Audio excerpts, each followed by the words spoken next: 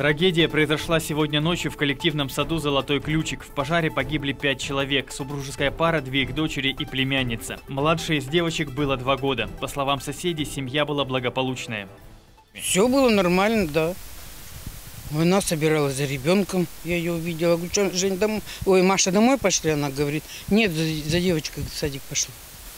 А Сережа говорит, здесь остался, и ребята здесь были. Все нормально было. Вечером я не видела. Соседи позвонили пожарным около двух часов ночи. В коллективный сад «Золотой ключик» в районе рудника Третьего интернационала выехали три подразделения Федеральной противопожарной службы. Дом был охвачен пламенем. Огнеборцы успели вынести из помещения бытовой газовый баллон и предотвратили взрыв. Чтобы спасти людей, пришлось пробиваться к очагу возгорания, но было уже поздно. Как выяснилось, сообщение о пожаре поступило с запозданием. Тот человек, который первым узнал о пожаре, он э, начал обзванивать соседей. Он не позвонил в пожарную охрану. Он не позвонил 101 или 112 сотового телефона. То есть э, было потеряно время, порядка там 10 минут грубо. Ну, сейчас смотрим, да, разбираемся. Но сам факт, то есть гражданин, э, в голове этого не было, что нужно позвонить в пожарную охрану.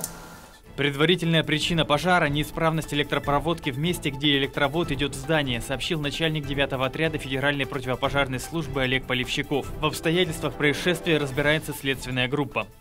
Для установления точных причин смерти людей и произошедшего возгорания назначены и проводятся судебно-медицинские и пожарно-технические экспертизы. Расследование уголовного дела продолжается и находится на контроле руководства регионального следственного управления СК России. Следствие возбудило уголовное дело по факту гибели пяти человек. Их могло быть больше. Старшая дочь погибших Юлия была вчера у родственников. Девочке 10 лет. Сейчас она находится с дедушкой. Администрация города готова оказать всю посильную помощь родным погибших. Надо понимать, если э, родственники готовы будут ее оставить у себя, соответственно, мы поможем оформить все необходимые документы. И если, скажем так, у них не получается по каким-либо причинам, то на сегодняшний день переговоры э, переведены с территориального управления социальной защиты населения по городу Нижний Тагила пригородному району. И, в общем-то, мы готовы разместить ребенка в любом э, социальном учреждении на территории города Нижний Тагил. Вот. На то время, на которое будет необходимо это для того, чтобы решить дальнейшую судьбу ребенка.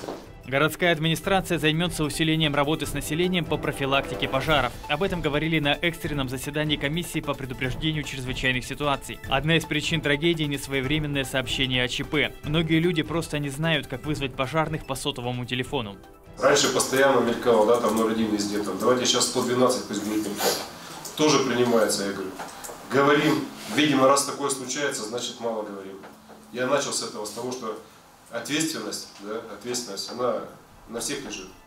С начала года в пожарах погибли уже 12 тагильчан. Больше всего потерь в трагедии в коллективном саду «Золотой ключик». Александр Мешков, Игорь Харьков, Елена Самойлова. Новости Тагил ТВ.